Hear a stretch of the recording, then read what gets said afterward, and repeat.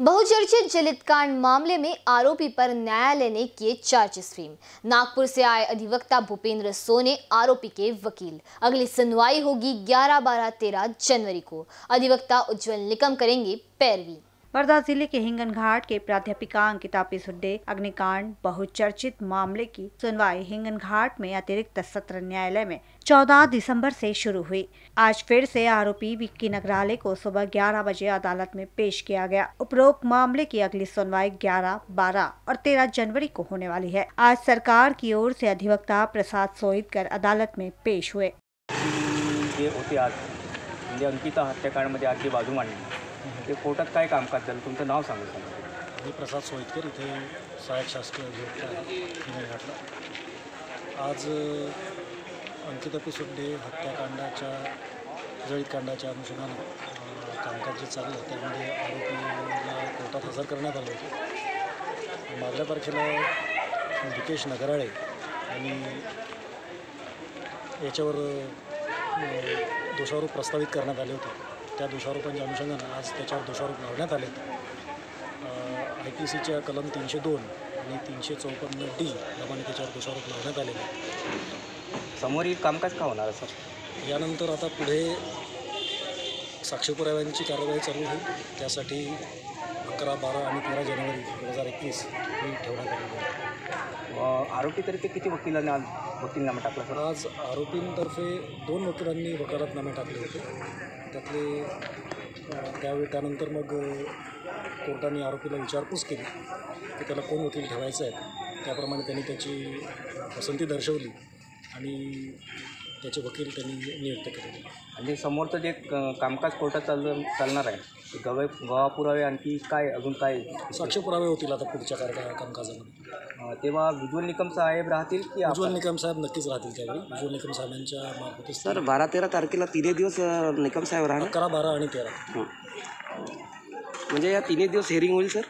या तिन्ही दिवशी साक्षी पुराव्यांची नोंद होणार. Okay sir. किती दिवस चालणार नाही प्रकरण तसं?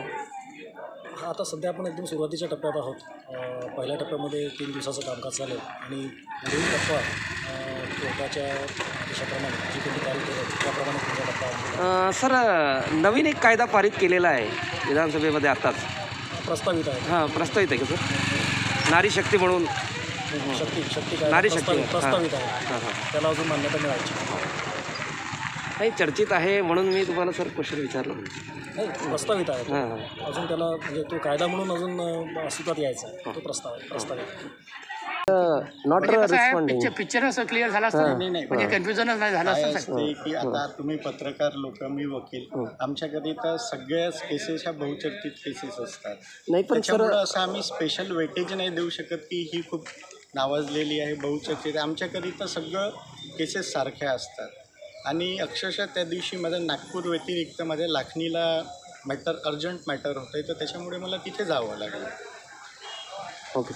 आणि याबद्दल चांगली कल्पना होती की त्या तारखेला समजा माझं नाही येणं झालं तरी मी पुढच्या तारखेला येऊन ते काम करू शकतो. त्यामुळे मी नाही येऊ शकतो नाही त्या दिवशी साहेब एक एक म्हणणं होतं एक एक विचारत होतं. त्या दिवशी जसं न्यायाधीश महोदयाचे न्यायमूर्ती महोदयांनी त्यांना विचारलं हां. की तुला पॅनलवरचा वकील पाहिजे का का पाहिजे? हां.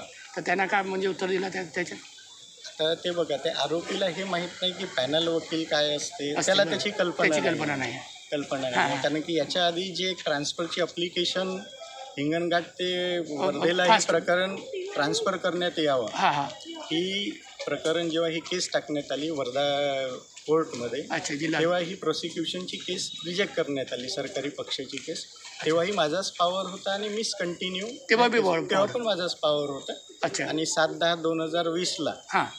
ते प्रोसिक्युशनचं जे अप्लिकेशन होती सात दहा दोन हजार वीसला? हां ती हां. खारिज करण्यात आली. म्हणजे प्रोसिक्युशनची अप्लिकेशन खाली म्हणजे साहेब अप्लिकेशन ही होती की हिंगणघाटवरून ही प्रकरण हां हां. वर्धेला स्थानांतरित करण्यात यावं. कोणा कोणी मागणी केली होती साहेब सरकारी पक्षाने. सरकारी पक्षाने केली होती. हां. तर ते तुम्ही त्याच्याबद्दल हे केलं मी होतं का? त्याला आक्षेप घेतला विरोध होता का? के- मी त्याला विरोध केला सात होता. दहाला? सात दहाला तर मी कुठं विरोध केला होता? सर म्हणजे ज- म- जिल्हा न्यायाधीश जिल्हा न्याय न्यायाधीश न्यायाधीश कोण कोण होते जिल्हा न्यायाधीश साहेब? त्यांचं नाव नाही आठवत पण तुम्ही नेटवरती ते बघू शकता. बघू शकता. बघू शकता. तर हे सात दहाला तर म्हणजे हो. वर्धेला त्यांनी मागणी केली वर्धेला ठेवा म्हणून. ठेवा तर तुम्ही म्हणे काय नाही बा हे आरोपीचं असं म्हणणं होतं की त्याच्या सुरक्षेच्या दृष्टीने अच्छा. की हिंगणघाट आणि वर्धेपेक्षा मला नागपूर सोयीचं होणार. अच्छा. तशी त्यांनी जेलमधून असं अर्ज पण पाठवला हा होता. वी सी झाला होता ना त्याचा? हां.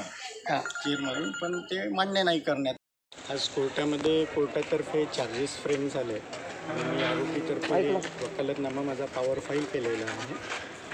येणाऱ्या पुढच्या महिन्यामध्ये अकरा बारा आणि तेरा हे तीन तारीख दिलेली आहे. साक्षी तपासणीकरिता भूपेंद्र बडवंत सोने. आज हिंगणघाटच्या बहुचर्चित प्रकरणामध्ये मी आरोपीतर्फे माझा वकालतनामा दाखल केलेला आहे. आजचं कामकाज म्हणजे कोर्टाचं. आज कोर्टाद्वारे चार्जेस फ्रेम झाले आहे आणि प्रत्यक्ष सुनावणीला पुढच्या वर्षी म्हणजे अकरा बारा आणि तेरा तारखेला सुरू होणार आहे पुढच्या वर्षी. तुमची कारवाई का राहिली सर? का बाजू मांडणार? बाजू आरोपीतर्फे मांडायची म्हणजे ती बाजू जे तपास यंत्रणेने जी चार्जशीट सबमिट केलेली आहे त्याच्यावर जे पुरावे असतील त्या आधारावरती कोर्ट निर्णय घेणार पुढील जी तारीख आहे ती तारीख कुठली घेतली आहे? अकरा जानेवारी बारा जानेवारी आणि तेरा म्हणजे जानेवारी लागोपाठ तीन तारीख तीन दिवस अशा सलग तीन तारखा तीन घेतल्या म्हणजे नाही म्हणजे तिन्ही दिवस हे होईल का तिन्ही साहेब दिवस सुनावणी होणार. सुनावणी होणार. म्हणजे तिन्ही दिवस हेअरिंग होईल का सर? हो तिन्ही दिवस होणार. सर आज सरकारी वकिलापैकी कोण आलं सर? अं, सर मला माफ करा मला मी नाव म्हणजे मला माहिती नाही. त्यामुळे मी त्यांचं नाव नाही सांगू शकत. तरी सर सरकारी अ, वकिलांनी काय असे हे केले सर? म्हणजे काय मांडणी केली सर? सरकारी वकिलांनी आज विशेष काही नाही त्यांनी जो शेड्यूल असतो हां.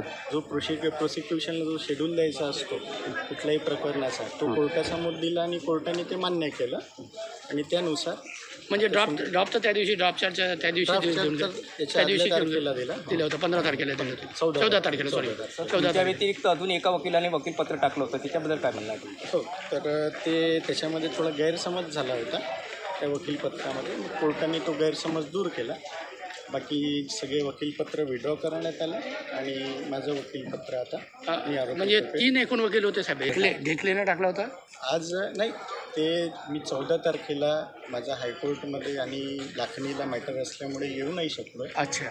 आणि त्या दरम्यान आरोपी हा थोडं कन्फ्यूज झाला की नेमकं आपले वकील नाही आले. बट त्यांना ते लक्षात नाही आलं तर ते चुकीनं टाकण्यात आलं. अच्छा. तर त्यांनी ही बाब कोर्टासमोर स्वतः मंजूर केली की मला ॲडव्होकेट भूपेंद्र सोने हेच माझे वकील म्हणून पाहिजे म्हणून. अच्छा. तर म्हणून बाकीच्या प्रश्नाच्या उत्तराची आता गरज राहिली नाही आहे अच्छा तारखेला फक्त मी इथे न आल्यामुळे पण साहेब इतकी मोठी म्हणजे बहुचर्चित तुम्ही म्हणता. आणि तुम्ही म्हणजे ते त्या दिवशी म्हणजे पूर्ण महाराष्ट्रात गाजलेली ही जी केस होती तर त्याला एक नॉट म्हणजे कसं आहे रिस्पॉन्डिंग पिक्चर पिक्चर असं क्लिअर झाला असतं नाही. म्हणजे कन्फ्युजनच नाही झालं असतं. असते की आता तुम्ही पत्रकार लोक मी वकील. आमच्याकरिता सगळ्याच केसेस ह्या बहुचर्चित केसेस असतात. नाही पण असं आम्ही स्पेशल वेटेज नाही देऊ शकत की ही खूप नावाजलेली आहे बहुचर्चित. आमच्याकरिता सगळं केसेस सारख्या असतात. आणि अक्षरशः त्या दिवशी माझं नागपूर व्यतिरिक्त माझ्या लाखणीला मॅटर अर्जंट मॅटर होतं तर त्याच्यामुळे मला तिथे जावं लागलं. ओके. याबद्दल चांगली कल्पना होती की त्या तारखेला समजा माझं नाही येणं झालं मी पुढच्या तारखेला येऊन ते काम करू शकतो. त्यामुळे मी नाही येऊ शकतो नाही त्या दिवशी साहेब एक एक पन्ना होता एक एक विचारत होता. त्या दिवशी जसं न्यायाधीश महोदयाचे न्यायमूर्ती महोदयाने त्यांना विचारलं हां. की तुला पॅनलवरचा वकील पाहिजे का का पाहिजे? तर त्यांना काय म्हणजे उत्तर दिलं त्या त्याच्या तर ते बघा ते आरोपीला हे माहीत नाही की पॅनल वकील काय असते. त्याला. त्याची कल्पना त्याची. कल्पना नाही. कल्पना नाही. हां. कारण की याच्या आधी जे ट्रान्सफरची अप्लिकेशन हिंगणघाट ते वर्धेला हे. प्रकरण ट्रान्सफर करण्यात यावं. हां हां. ही प्रकरण जेव्हा ही केस टाकण्यात आली वर्धा कोर्टमध्ये अच्छा जिल्हा. तेव्हा ही प्रोसिक्युशनची केस रिजेक्ट करण्यात आली सरकारी पक्षाची केस तेव्हाही माझाच पॉवर होता आणि मिस कंटिन्यू तेव्हा बी तेव्हा पण माझाच पॉवर होता. अच्छा. आणि सात दहा दोन हजार वीसला हां. ते प्रोसिक्युशनचं जे अप्लिकेशन होती सात दहा दोन हजार वीसला. हां ती खारिज करण्यात आली. म्हणजे प्रोसिक्युशनची ॲप्लिकेशन खाली म्हणजे अप्लिकेशन ही होती की हिंगणघाटवरून ही प्रकरण हां हां. वर्धेला स्थानांतरित करण्यात. कोणाचं कोणी मागणी केली होती साहेब सरकारी पक्षाने सरकारी पक्षाने केली होती. हां. तर ते तुम्ही त्याच्याबद्दल हे केलं होतं का? आक्षेप घेतला विरोध होता का मी त्याला विरोध केला सात. दहाला? सात दहाला तर कुठं विरोध केला होता? सर त्याला म्हणजे ज- जिल्हा न्यायाधीश जिल्हा न्याय न्यायाधीश कोण कोण होते जिल्हा न्यायाधीश साहेब? त्यांचं नाव नाही आठवत पण तुम्ही नेटवरती ते बघू शकता. बघू शकता. बघू शकता. तर हे सात दहाला तर म्हणजे हो. वर्धेला त्यांनी मागणी केली वर्धेला ठेवा म्हणून. ठेवा तर तुम्ही. म्हणे काय नाही बा हे आरोपीचं असं म्हणणं होतं की त्याच्या सुरक्षेच्या दृष्टीने अच्छा. की हिंगणघाट आणि वर्धेपेक्षा मला नागपूर सोयीचं होणार. अच्छा. तशी त्यांनी जेलमधून असं अर्ज पण पाठवला होता. वी सी झाला होता त्याचा? हां. जेलमधून पण ते मान्य नाही करण्यात आलं. त्यामुळे प्रकरण आता हिंगणघाटला असताना इन बी न्यूज के लिए हिंगन घाट से रवि नोरकर की रिपोर्ट.